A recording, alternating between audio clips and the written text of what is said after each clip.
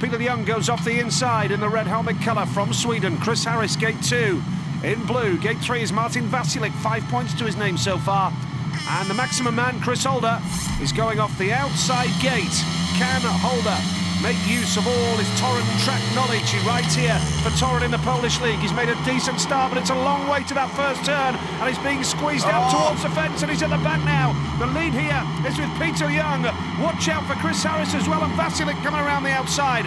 Holder out tries the inside line, comes through into third. Every point is absolutely vital. That's right. Chris has got to really keep pushing it on. He's on the inside there, trying to just get on the inside of Vaculik. He's got to keep the pressure on just up front there. Peter Ljung's doing a good job, but they're all bunching up now, Nigel.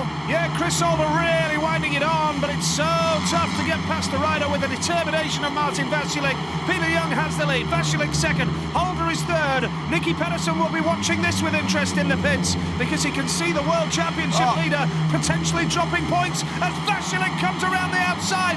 Super speedway into the last lap of heat number 11, and Vaculik with the speed down the back straight. That is a sensational move ahead of Peter Ljung in red. Chris Holder looks like he's going to have to settle for just the one point. Vaculik punches the air. Great race of speedway in heat number 11.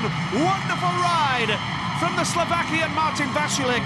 Peter Ljung was second. Chris Holder has dropped two points for the first time tonight and moves on to seven. And that opens the door for Nicki Pedersen to pounce in his next ride. Holder knows there's still a lot of work to do.